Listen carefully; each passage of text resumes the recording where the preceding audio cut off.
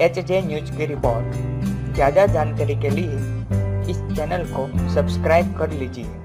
Bollywood actress Kareena Kapoor हाल ही में रुजुता दिवेकर की किताब, प्रेगनेंसी नोट्स के लॉन्च पर पहुँची थी।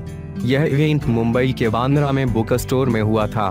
इसी मौके पर अपने पति सैफ अली खान की पहली पत्नी अमृता सिंह की बेटी, सारा अली खान को टिप्स देने पर जब करीना से सवाल पूछा गया तो करीना बोली कि मैं उसकी कोई टीचर नहीं। और करीना बोली कि वो काफ़ी टैलेंटेड है और खूबसूरत भी है।